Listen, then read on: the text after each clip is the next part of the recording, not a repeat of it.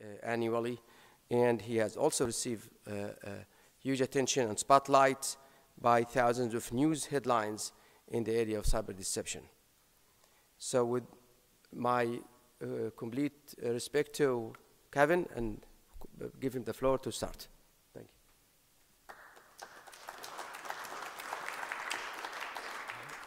Everybody, thank you, Ehab, um, and thank you for uh, getting up early and uh, coming to this talk. So um, today I want to um, argue that uh, not only do I think that uh, science of cyber deception is important, I'm even going to, you know, sort of go over the top and say I think that it's critical for the future of future of uh, cybersecurity in general, and uh, hopefully I'll be able to convince you of this by the end.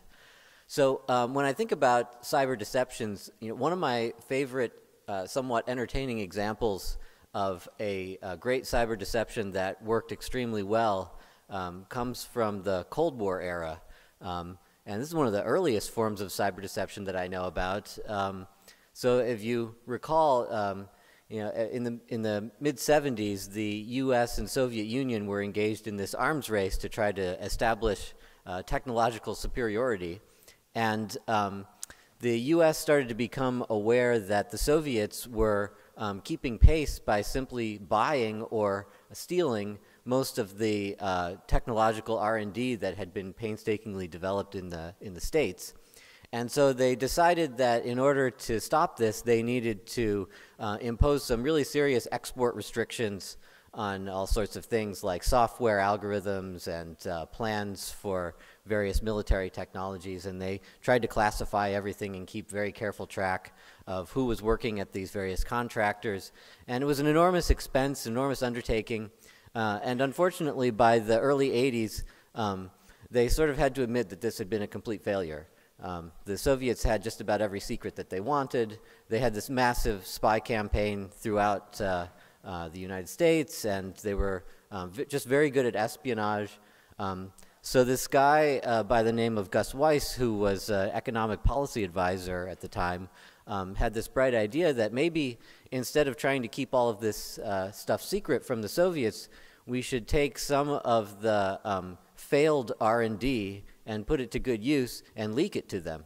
So rather than trying to keep everything secret, let's just you know take those algorithms that didn't work and mix them all in with the algorithms that did work and see if maybe we can get them to deploy some of this stuff. So they started doing that um, in this sort of uh, secret operation.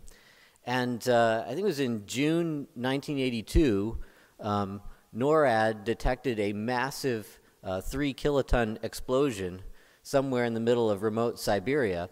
And um, the White House was very alarmed.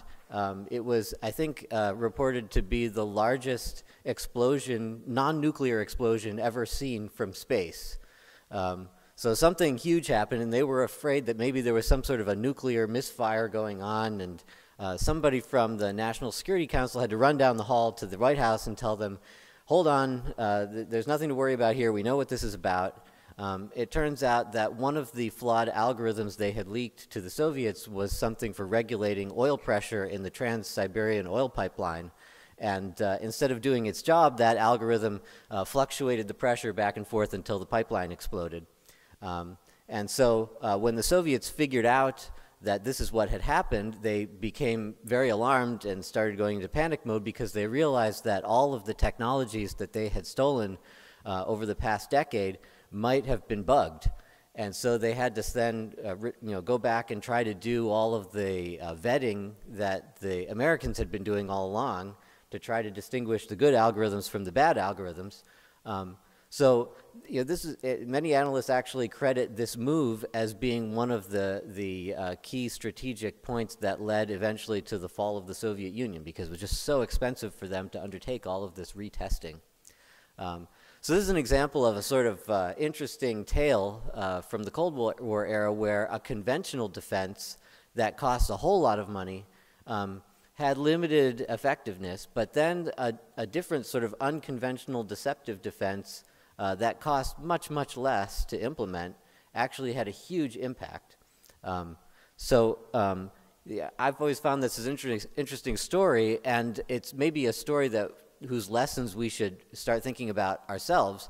so I think in the present day, we're facing um, a very serious scalability problem in cyber defense, something much more acute than uh, anything that uh, was faced during the Cold War. So um, you can see on the slide here, this is a plot I, I put together of um, uh, federal cybersecurity spending, the blue bars, um, over time, and then the, um, the number of reported cybersecurity incidents against uh, federal computer systems. And um, you can sort of see that the shapes of these curves are not the same.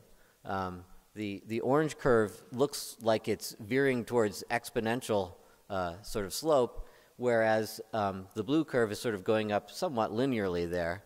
Um, and if that orange curve continues, I think you have to start to wonder whether any reasonable amount of cybersecurity spending is adequate to face the kind of uncontrolled explosion of attacks that are being seen. Um, this is just number of attacks, but I would argue that complexity of attacks is scaling in a similar way to volume of, of attacks. Um, so another way of looking at this, um, if you look at um, the size of software products, so um, if uh, um, the, the larger the software products, the harder it is to defend, um, but the easier it is to attack, right? Because there are a lot more opportunities for bugs in big software. Um, if you look at operating systems, uh, back in the 90s, you're talking about three or four million lines of code for a production level operating system. Um, these days, you're talking about something north of 50 million lines of code for a production operating system, and in fact, if you start to include things like runtime libraries, um, I think last count, Debian Linux, including its critical runtime libraries, is 300 million lines of code. That is just uh, astronomical in terms of the attack surface of that piece of software. Um, and so, you know, really this is to, to sort of convince you that um, cybersecurity is perhaps the most asymmetric form of warfare in which humankind has engaged. Um, if you're an attacker, you have usually plenty of time to probe uh, defenses, right? You can very carefully uh, conduct reconnaissance and attack at a time of your choosing. Usually you have a very broad uh, choice of targets.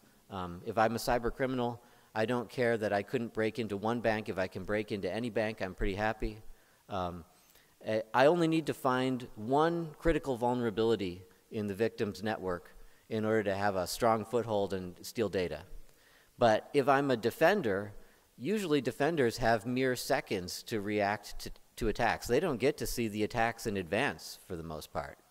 Um, they're often stuck defending thousands of legacy assets. I think the last OIG report I read said that the, uh, the DOE, somewhere, something like 65% of their computers are not adequately patched.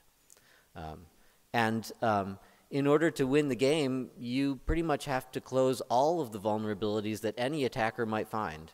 Otherwise, at least one of those adversaries is going to find one of those vulnerabilities and he's going to sell it to everyone else, and then um, the game is over for you. So um, this sort of asymmetry, I think, is a very critical problem, and that um, it doesn't seem like there's there are many conventional defenses that scale to this problem. Um, of course, historically, we know that um, throughout the history of warfare, uh, deception has often been recognized as an asymmetry leveling mechanism. You can go all the way back to um, you know, Sun Tzu and his Art of War, where he said all warfare is based on deception. I'm not sure we've taken that lesson to account when uh, we consider cyber warfare at the moment, right? We have some deception, but it's mostly on the offensive end and not a whole lot on the defensive end. Um, attackers have known this in the realm of cyber deception uh, for you know, the history of, of uh, cyber criminal activity. So if you look at um, uh, studies that have been done on top threats to organizations, um, regularly at the very top of the list is social engineering attacks. Right? There are all these famous hackers of the past. Um, I remember um, Ke Kevin Mitnick uh, mentioning that he believes that his primary skill set was um, social engineering more even than his technical skills. Right? Why, uh, why, why, do I have to uh, um, decrypt a password if I can convince an administrator to give it to me? Right? It's a lot easier. Um, so um, this is a lesson that has been learned by our adversaries. Uh, I think we need to learn it as well. And um, there's a sort of interesting example of this that I read some years ago that I'll share with you. Um, so I, I, read a case study published some years ago about a, um, an independent hacktivist who goes by the alias The Jester. And uh, The Jester is an interesting character because uh, unlike most hackers out there, uh, he considers himself a U.S. patriot and does illegal things on the internet on behalf of what he feels are uh, U.S. interests, and then he brags about it on his blog. So um, uh, there was a point uh, back in 2011 where um, he was very frustrated that there were a bunch of rival hackers out there that authorities had been attempting to apprehend, uh, part of a, a, group called Lulzsec, and um, he wanted to find out who these people were and leak their identities to the authorities and get them arrested. Um, but the authorities had a lot of trouble tracking these people down. They were very good. Um, so the way he went about uh, conducting this, so keep in mind this is basically, we think, one person operating with no significant resources, just his own wits um, and a bit of technical expertise. Um, so he ran this blog, and uh, one day he quietly changed his avatar on his blog to a QR code. And if you scanned that QR code, um, it jumped you to a web page that redirected you to a piece of malware that he had written that hijacks a certain kind of browser on a certain kind of phone. Um, that hijacked browser does a callback, and um, the, the server that it, it phones home to does some cross-referencing behind the scenes with anonymous communications that the jester had had with these nefarious individuals on Twitter. And if the correlated information matches, it would start tracing back and get geographic information, potentially an address, sort of correlate different positions of these people. And um, this turned out to be very successful. He actually was able to obtain the names and addresses of several of these Lulzsec members. He leaked them to police, and there were arrests eventually of these people. Um, and after this campaign was successful, he reported on his blog um, why he had chosen to do these things. Um, so he said that, well, first of all, there are all these people visiting my blog, and most of them have no malicious purpose. But if I just quietly, with no announcement, change my avatar to a QR code, how many people are going to scan that QR code? Probably not many even notice the change, and many who do don't bother with it. Only people who have perhaps an unhealthy interest in my activities are going to bother to do that. And um, you know, then he had various filtering mechanisms where of those of all those millions of people visiting his blog, only about 1,200 scanned the QR code. Only about 500 were using a phone that he knew that those people were probably using based on prior communications with them. And then only a small number of those cross-referenced with his hit list to be likely members of this group. And then he had a limited collection of information to then track down manually who these people were. So, you know, this is kind of interesting that a, a basically a defender um, with no resources is able to accomplish something that um, defenders with many, many resources had failed to be able to do. And he did it with just a little bit of sleight of hand and deception uh, to get a lot of mileage out of it. So um, all of this is to try to argue that um, if we're going to make progress in cybersecurity, I think we need to really take seriously the problem of asymmetry and one of the most promising ways to do that is to incorporate deception into defense. Um, and there are a lot of advantages potentially for doing this. Um, it's a way to shift the resource burden, which is currently heavily on defenders, over to those attackers to make life as difficult for them as it is for us. Um, it has the potential to greatly elevate the risk incurred by attackers. Right now, uh, attackers can do a lot of things with relative impunity. There's very low risk for them to probe systems. Um, let's make that risk as high as possible so that they're second guessing every apparent success that they have. Um, the idea of instead of making attackers uncertain about what's going on on the defense, let's give them certainty about things that are not true. That way I can manipulate them into actually taking actions that benefit me.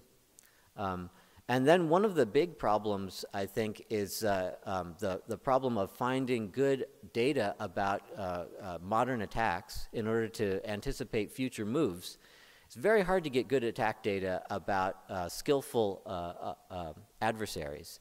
But if you use deception, the idea there is to maximize the amount of communication you have with these, uh, these threat actors and therefore get as much information about them as possible. Why cut off communication if somebody is voluntarily giving you the very information you need to mount a better defense against them? So um, uh, some of my colleagues um, have, uh, uh, who are you know cleverer than I, have decided that the, there are these sort of the four Ds of deception. Um, and they say that deception is about deflecting attention away from legitimate targets to illegitimate ones, um, distorting adversarial beliefs, making them believe something that's not true, um, depleting their resources, and then finally discovering adversarial capabilities, motives, and tactics. Right? So these are the goals of deception. And um, of these four Ds, I'm going to argue in this talk that I think discovery is the most important of the four. And the reason I say that is because um, if I manage to deflect, distort, and deplete adversaries, that helps me win an individual battle, the, the battle today. But if I can discover the, the uh, capabilities, the techniques, and the attack patterns of an adversary, that potentially gives me a winning strategy for many future battles where I can defeat this adversary. So I think that's one of the prime goals that we need to, to place at the forefront of uh, cyber deceptive defense.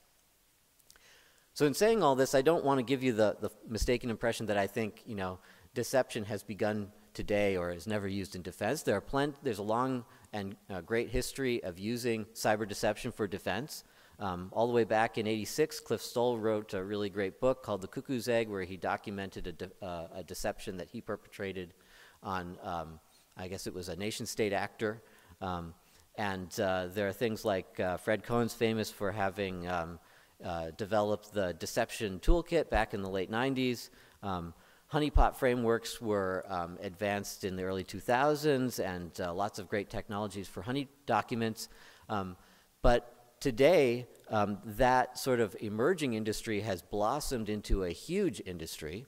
Um, there are all of these modern deception products out there. Companies like uh, Rapid7, TrapX, LogRhythm, Ativo Networks, Illusive Networks, Cymmetria, they all have these really um, fancy deceptive firewalls and um, uh, deception enhanced honeypot frameworks, deceptive networks. Um, and in fact, some of, some of the market studies going on now estimate that this is going to grow to a $2 billion industry by 2022. So this is not something that um, you know we're leading the charge on.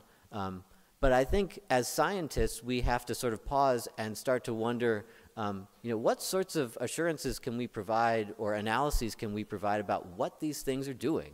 Um, you know, if, if I deploy Rapid7's deceptive network topology, is my network now 80% more secure or 40%? Is there any metric there? Or what is it, you know, what assurances are we getting? How do you analyze that? Um, and these are sort of scientific questions that I think at present the, the scientific community have really left unanswered. Um, so let me pose a few of these scientific questions and sort of explore them with you. Um, so one of the scientific questions that I've been asking about these things are you know, exactly which asymmetries between attackers and defenders can be addressed through deception. Maybe there are things that deception is just not good for. Um, and I want to know what those things are so that I don't spend a lot of money on one of these deceptive tools for something that it's just not good for.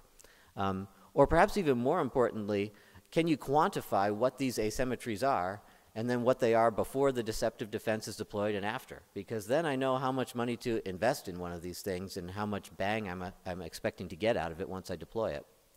Um, if we are going to measure these things, in what units are we going to measure them?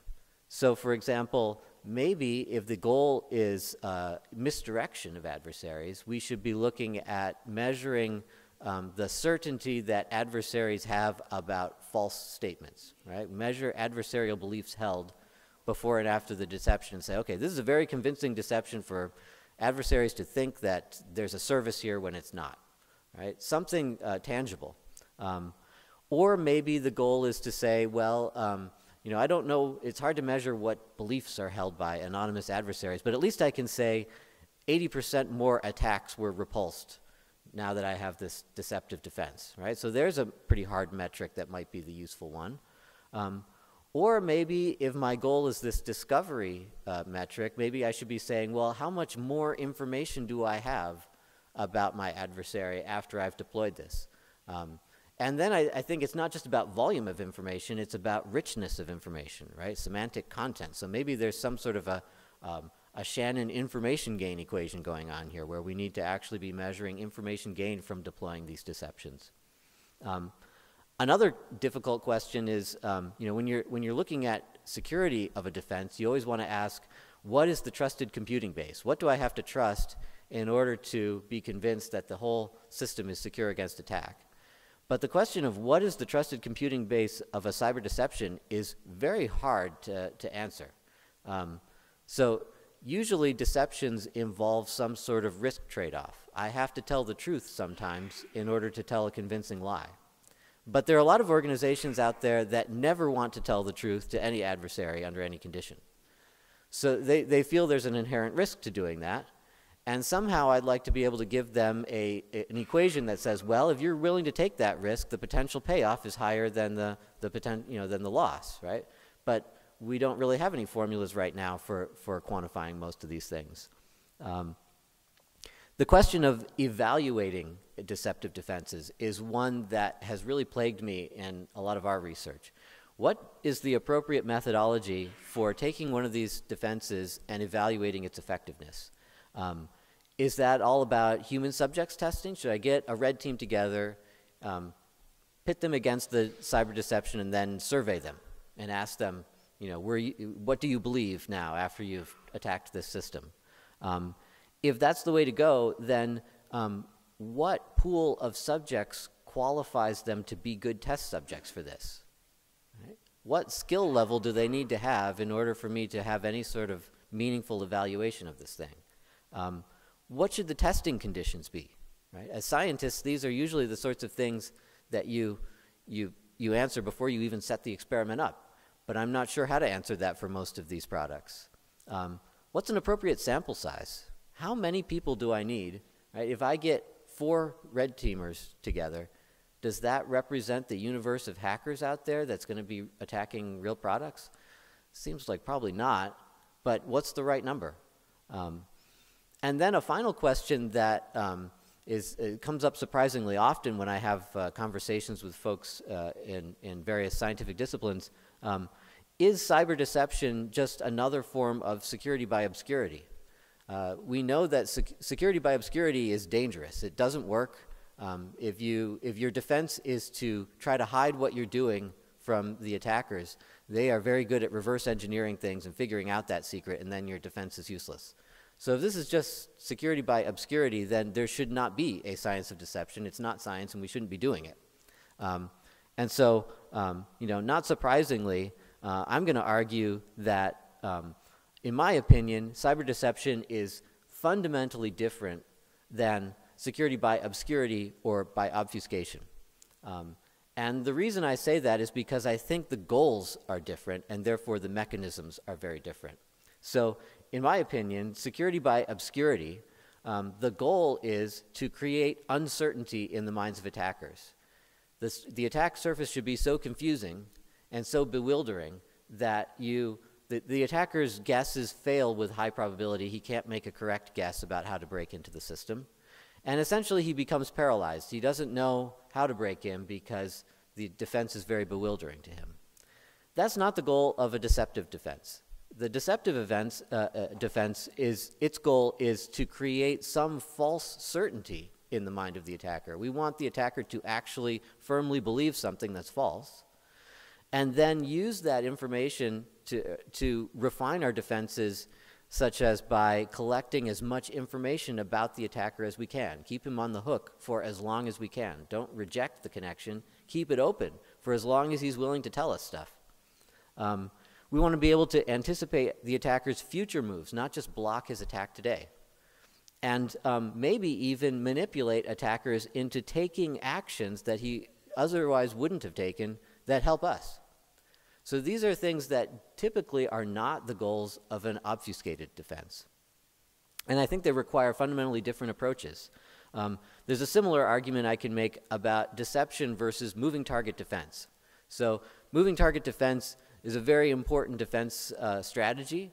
I think there's some overlap with deception, but they're not the same thing. Um, and the reason I say that is uh, moving target defense, somewhat similar to obscurity, but not necessarily.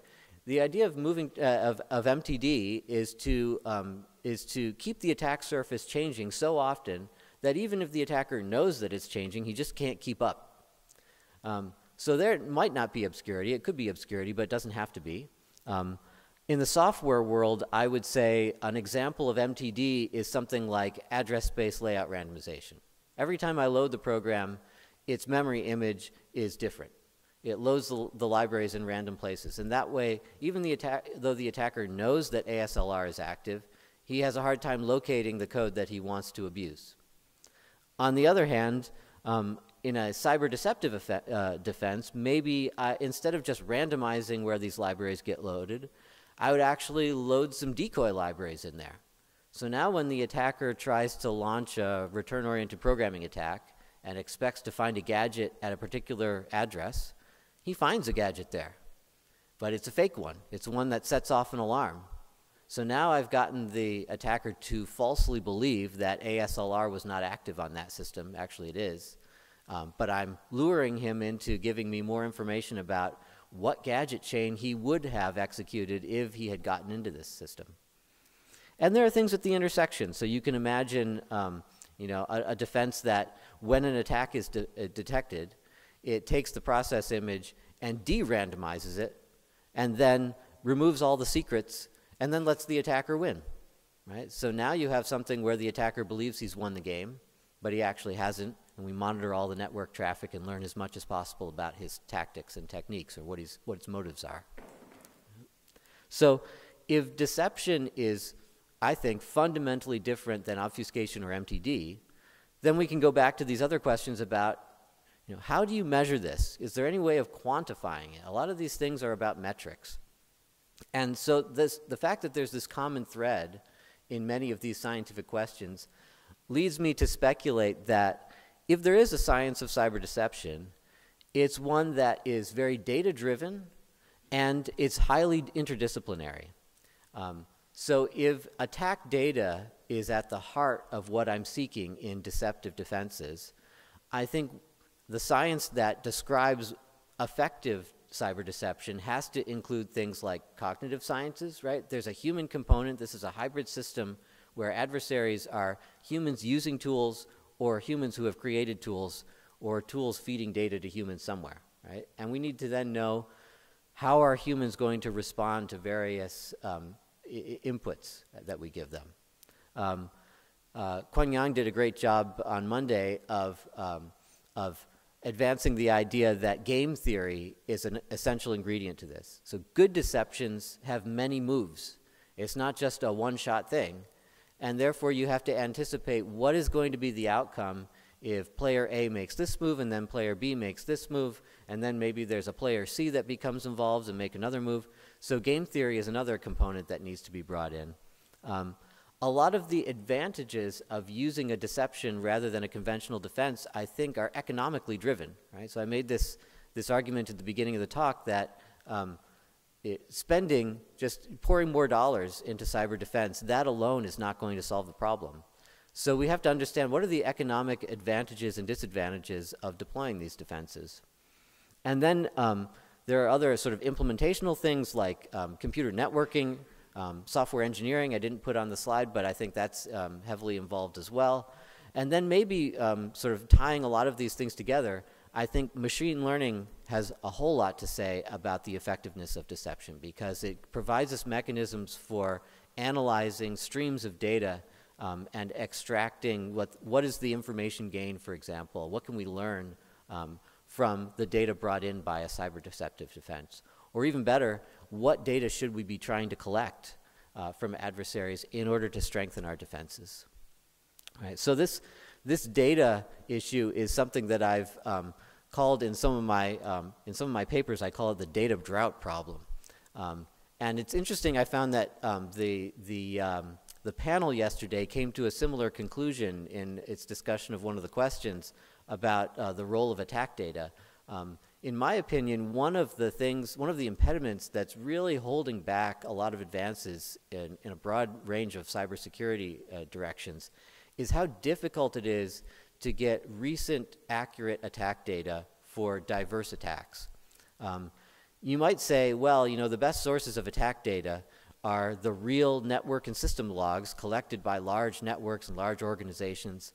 And even if we put aside the challenges of actually getting access to that data um, and the privacy concerns, the, the big problem there is that those data sets are unlabeled.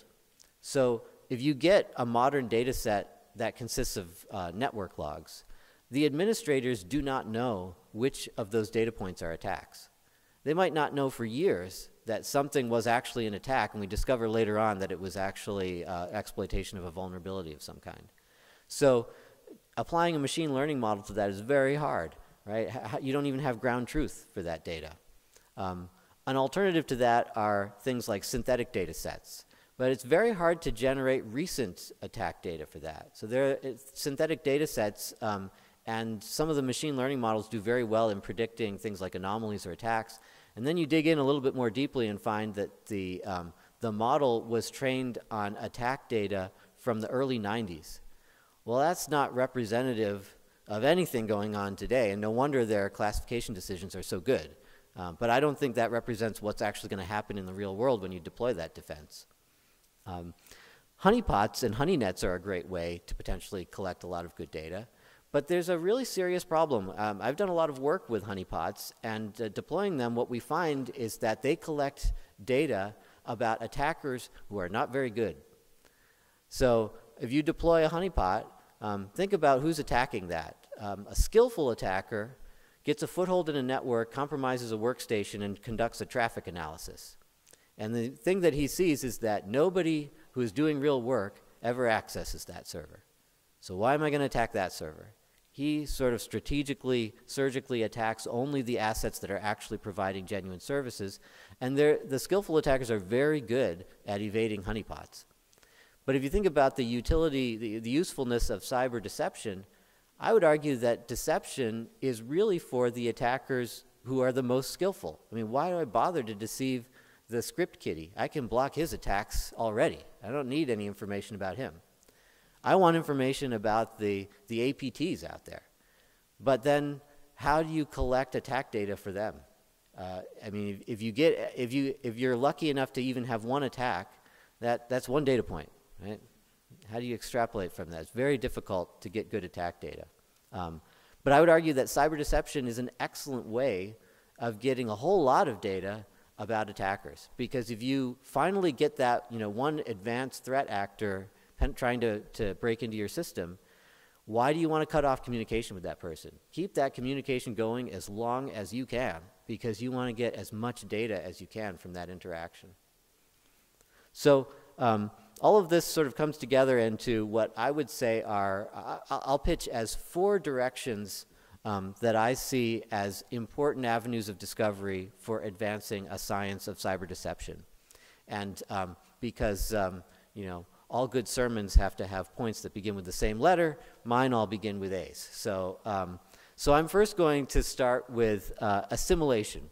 So I'm going to argue that um, deceptions that are um, orthogonal and independent of genuine systems are not effective, that we need to be integrating deceptions into things.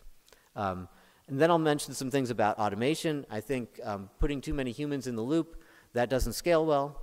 Um, we need more automation um, adaptation, uh, deceptions that can evolve to meet the needs of the defender and the, um, the skills of the uh, uh, attacker over time are important. And then finally, this question of how do you obtain any sort of formal assurance for a deceptive defense. So let me start with uh, the assimilation uh, idea. So so my philosophy of cyber deceptive defense is that uh, we need to stop thinking about deception as sort of a separate layer of security that we put on top of other layers. Instead, we need to adopt the philosophy that every cyber object should be equipped with deceptive responses to attacks. Even and especially the cyber objects that are providing genuine services to legitimate users. Deceptions should be everywhere. And to sort of make this a little more concrete, since I'm a software engineering guy, um, in software engineering, if we set out to design secure software, typically there are three requirements that we look at, right? We want to enforce data integrity, uh, data confidentiality, and then avail uh, data availability or service availability requirements. And then we set out to establish what we can obtain in each of those degrees of assurance. That list is incomplete. We need bullet number four, how deceptive is this software when it encounters something that it knows is an attack? Please don't respond to the attack with error message, I just detected your attack, and by the way, here's how you can defeat me next time. That is not a good error message to be delivering to attackers, but many times that's what modern software does. It gives very, very helpful error messages to attackers. Um, so one of the ways in which we've been experimenting with this is a line of research that we've called honey patching. To, so to set this up, um, many of you know that the, the way most attacks begin in the real world is that the attacker performs some sort of reconnaissance as the first step in his kill chain. So for example, um, a software vulnerability will be disclosed to the public, and the vendor will release a patch for that vulnerability, and then all the IT people all over the world go running about and try to apply that patch to all of their software to make sure that the vulnerability is closed. Meanwhile, the attackers race them to see if they can break into things before they get patched. So they craft something called a probe payload, which is just an input to the program designed to exercise the vulnerability that was just patched. And they start firing this probe payload, which is very generic, um, at lots of different servers. And when they fire it at a patched server, the patched server says, I refuse your connection. I detected that you attacked me. My answer is no. And then the attacker crosses that IP address off his list and he goes to the next server that he's found in the network and tries probing that one. And he keeps going until inevitably in a huge network, he finds the server in the basement somewhere that everybody forgot to patch, and he fires the probe payload at that, and that unpatched server responds in a very different way. It um, crashes and restarts, or it returns some kind of garbage string, and then when the attacker sees that, he smiles and knows, aha, this is a server that I can penetrate later on with something much more potent than a probe payload, get a nice foothold, and perhaps infiltrate this network.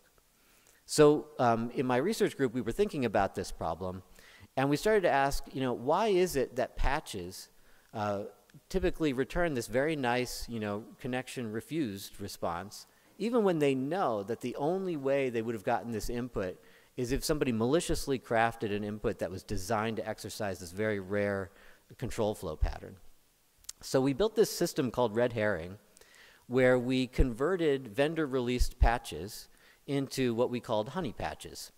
So the idea is um, the, the honey patch implements the same security protection as the patch did, except that when it detects any input that exercises the patched vulnerability, instead of just saying no to the connection, it quietly and transparently forks that connection over to a decoy environment that's actually running the unpatched software. So it's actually unpatched over there. And so the response the attacker gets is exactly as if he had successfully penetrated an unpatched server. So think about what the network looks like to an attacker after you do this. Right? So you're a defender and you try to honey patch as many machines as you can, but you know you miss the one in the basement, um, and then the attacker starts probing your network. Well, everything looks vulnerable all of the servers are apparently unpatched. He gets the same response from all of them. And now the attacker, you know, maybe he doesn't realize that this is a deception. Then you get lots of nice data about attackers.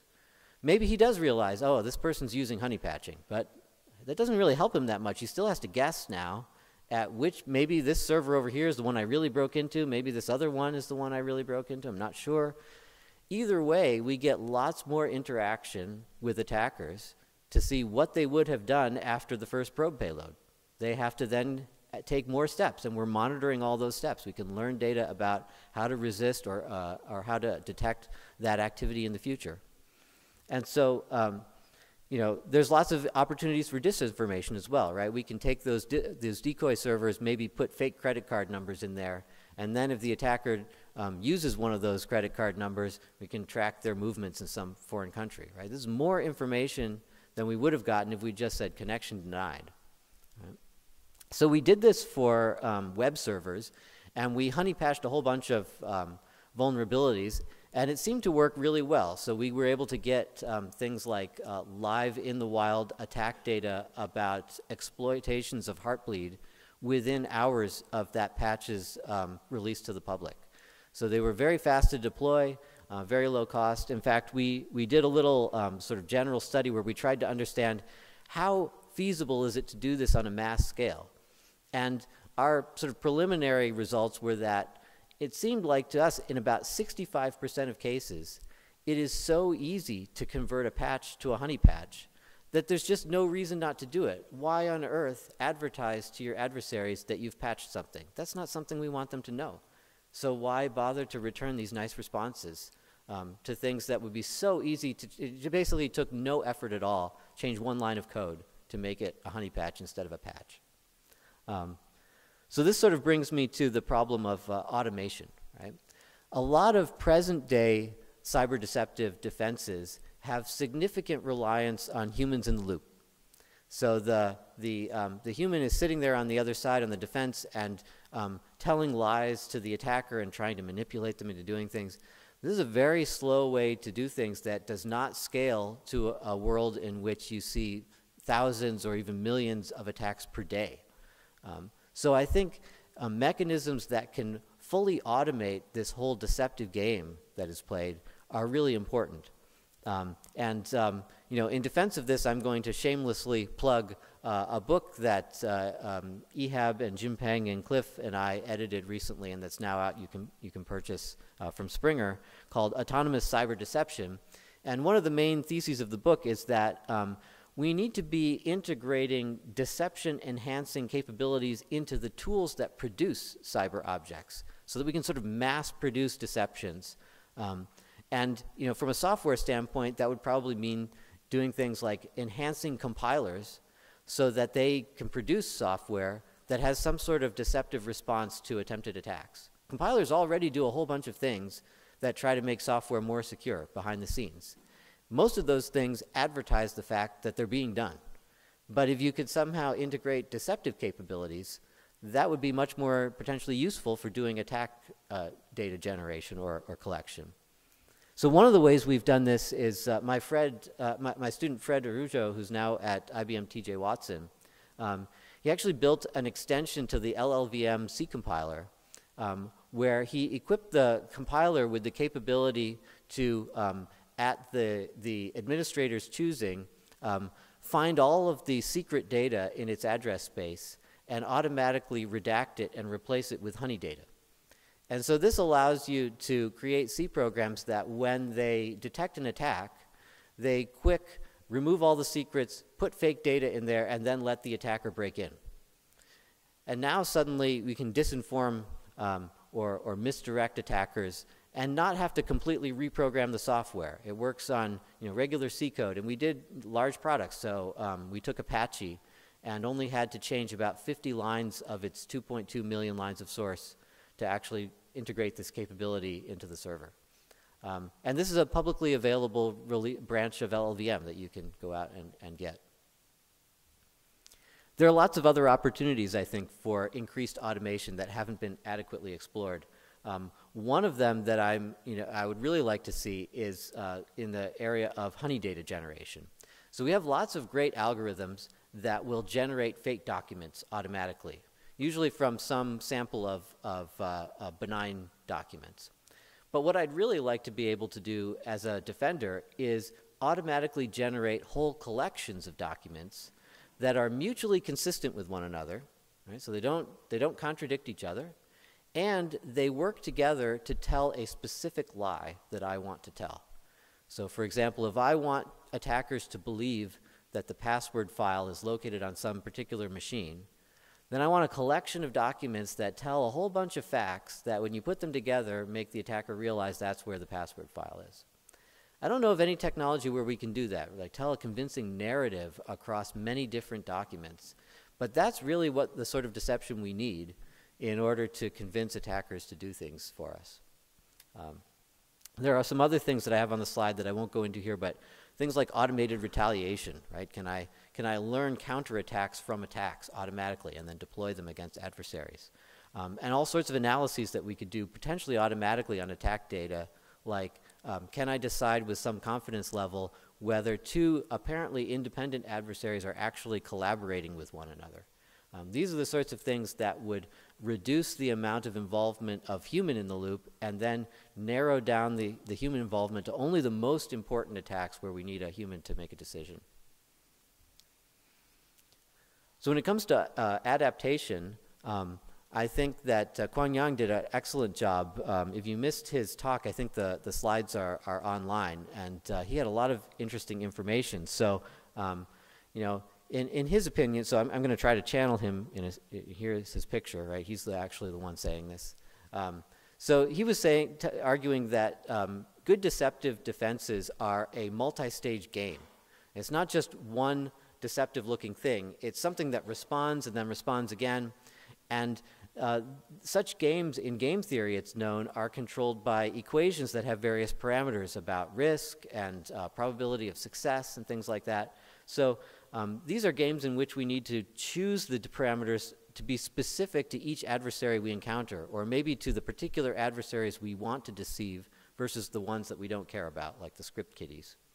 Um, and one of the good motivations for this is, um, I think as, as cybersecurity professionals, we're sort of stuck sometimes on the idea that we, we treat adversaries as annoyances that we want to shut down as soon as we can. But we should start thinking about cyber attackers as resources, right? If somebody attacks my network, I could say, well, just shut down the connection, don't want to talk to that person anymore. Or I can say, ah, free pen tester. Right? I'll divert them to a decoy environment and put some software in there that I wonder whether there's a bug in there. Maybe they'll find it for me. That's great. Right? It's like Mechanical Turk, but for criminals. Right? Um, if I want threat data, good. They're going to offer me some threat data. I'll take that. Um, if I have multiple attackers, maybe I'll lie to one attacker and say, oh yeah, my most important asset is that other attacker's command and control center. I'll get them to attack each other. That would be good for me, right? So these are, these are people volunteering their time, apparently, and let's just use them. Uh, and so this last one, um, I'm very interested in the idea that maybe we can convince attackers to answer specific questions that we have as defenders that would really help us. So one of the ways that we've been doing that in my lab is we've been trying to develop something called uh, deception-assisted firewalls. And the idea here is that um, you know, firewalls have a limited collection of features that they can efficiently monitor in order to decide whether incoming traffic streams are attacks or whether they're benign. Um, and because they have to make these decisions quickly and with limited features, some of the attacks slip through. Um, but other defense layers sometimes pick up that this was actually an attack. And usually those other defense layers right now, they just say connection refused, right? So that, that's, that's the end of the game. But we've been trying to build software layers that instead say, okay, let's keep the attacker on the hook as long as we can, learn as much as we can about that, and then feed that information back to the firewall in order to help train its classifier to better detect the attack in the future. And in fact, we, this is a, a two-way communication so that if the firewall says, hey, you know, I've, got, I've learned a really good decision boundary, except over here in this area of the feature space. Well, then we train the deception to try to get the attacker to give us data in that area of the feature space so that it learns that part of the classification boundary better. So I have a little scatter plot that we um, obtained from one of our recent exper experiments where you can see on the left, initially the firewall's feature space is this very um, integrated mix of uh, blue benign traffic and red uh, attack traffic, and it's very hard to distinguish which is which. But over time, as this feedback loop develops, um, the, the feature space is refined in such a way that the classification boundary becomes much more apparent. And the firewall becomes better and better at, at, at classifying these attacks automatically. And it's the result of steering attackers into helping us learn what the classification boundary actually is. So this sort of brings me to the last of the A's, um, the question of assurance. Um, and I think there's a, a big open question that is sort of begging scientists to answer it, and that is what is the right way to um, scientifically evaluate the usefulness or the effectiveness of deception? Um, and um, keeping in mind that probably cyber deceptions are only useful uh, or, or most useful against adversaries who are already sufficiently resourceful and creative and skillful to have breached your other defenses. If they're so easy to block that you don't need deception, then I don't care how well the deception works on those people. Um, and one of the, th the questions we've been really grappling with in my lab, and that you know I'll sort of pose to you, is what should be the role of human subjective uh, uh, testing in evaluating deceptions? That's usually the first thing that scientists I talk to think of when I say, how would we evaluate this? And they say, well, you sit a bunch of humans down and you pit, pit them against the deception, you find out whether they were deceived, and now you know how good your cyber deceptive defense is. And um, we've been trying to do that, and let me give you um, a, a, specific example of why I have major misgivings about that as an evaluation strategy. So here's a pair of plots. Um, this is an experiment that was just done in the past few weeks in my lab. And um, on the left, you can see we deployed one of these deceptive firewalls, and we um, streamed synthetic attack data at it to see how well it per would perform. And the synthetic data is designed to simulate the activities of thousands of different attackers and also hundreds of thousands of benign users, um, evolving their attacks in different ways based on historical data. So a lot of work went into um, generating that synthetic data set. And you can see that the deceptive defense gradually gets better over time as it witnesses more and more of these attacks until finally it gets to about 90% accuracy at the end. So then we decided, okay, well then, you know, the next step up from synthetic data is to try this on real humans, right? So we got uh, a group of 10 students together who are good at capture the flag competitions, so they have some good skills, and we pitted them against this cyber deceptive defense, and we got a completely different looking plot. Um, the plot, if you can see the green line on the right graph, um, it almost instantly jumps to near 100% accuracy after witnessing one attack. And if you were to evaluate your defense with just that, you would say, this is amazing. All it needs is to see one attack and it can resist everything. And we started looking at the data more carefully and we realized, okay, the problem here is that students are a kind of homogenous group. They have approximately the same skill sets, the same motivations, and um, the same tactics. And once that defense sees one of their attacks, it's pretty good at finding them all. So it's not really needing to learn much. It's actually a much easier uh, a test of, of, of worthiness of this defense than the synthetic data, which is sort of counterintuitive. You'd think that you know, human subjects would be the ultimate challenge. And so I'm not so sure that's true. The synthetic data is a lot harder than the humans. And you know, maybe the problem is that, well, you should have gotten a better, a larger pool of human subjects, and they should have been more diverse, and they should have been more skillful. When you start putting all of that together, I think it starts to become questionable whether any academic institution could ever assemble a pool of human subjects that would do justice uh, to that defense, to evaluating it. So um, suppose we had got 100 students together. Um, I'll note that HackerOne has over 166,000 registered hackers. Um, 28,000 hackers attended DEF CON last year. Is my 100 students representative of those threats. I mean, I, it just doesn't seem reasonable to me. Um, what skill set do I need? You know, how much money would I have to pay to get really, you know, advanced, the Top Gun style hackers, the ones we really want to deceive? Um, Rand concluded a few years ago that the black hat market is now more profitable than the drug trade. That's a lot of money. I don't have that much money. Uh, I don't think, um, you know, if I submit a, a, a, grant proposal to Cliff, I don't think he's going to fund that. Um, and even if somehow I manage to assemble the perfect red team, I can never use those people again. They're tainted once I do one experiment with them. Now they know about the deception. They're not independent anymore. So I have to do all that work over again. And, um, you know, maybe you say, well, um, okay, instead of assembling a red team, you should just deploy this thing on the internet. Let everyone attack it. Then you have real live attackers. Who's attacking that?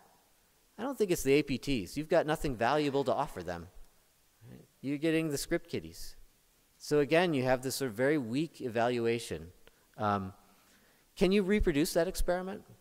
This is a question that the panel yesterday grappled with as well. Um, if you if you read about um, you know the the uh, news headlines in psychology, you might know that they're in psychology they're currently facing something called the replication crisis, and um, some folks have have gone back and tried to reproduce some of the famous studies that you read about in psychology textbooks and have discovered that they are not reproducible. The effect that was observed by the researchers when they did that study does not seem to be an effect that is real. And yet, those have been in the psychology textbooks for decades. So now they're all facing, well, you know, how, how often do we actually try to reproduce this, and was this really symptomatic of the effects we see in the real world? Um, I would caution uh, the whole community of scientists let's not replicate the replication crisis. Right? I mean, if we are basing our studies on human subject evaluations that cannot be reproduced, um, then I think it's very shaky and we are uh, at risk of deploying defenses that are doomed to failure in the real world. So, you know, I would advance um, better methods of synthetic data generation are a really important next step in this. Um, and I'll just conclude by saying that um, I think we can transition cyber deception from art to science um, because cyber deception uh, science is a vital ingredient for scaling these asymmetries. Um, I think it's a data-driven interdisciplinary science and we need to be um, projecting our research along these four avenues of assimilation, automation, adaptation, and assurance. Um, and I'll just wrap up there.